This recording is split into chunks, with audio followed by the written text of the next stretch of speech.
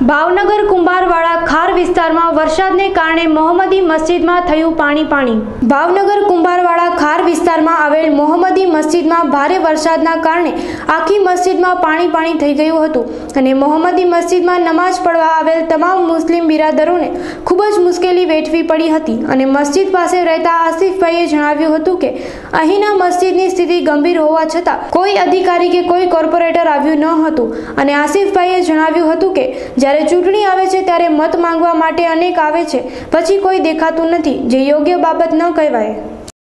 Arya road Mohammadi મસ્જિદ પાણી બહુ ઉપર ઉપરવાસનું બહુ પાણી આ બાજુ આવે છે.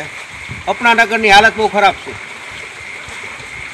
તો આમાં તમારા કાર્ય મોહમ્મદી- મસ્જિદમાં બી પાણી ઘરી ગયું છે કોઈ નમાજ પડી શકે એવી પોઝિશન નથી. અહીંયા તમારા કાર્યકર કોઈ ધ્યાન નથી દેતું? કાર્યકર કોઈ દેખાતું નથી. કાર્યકર કોઈ આવતું નથી.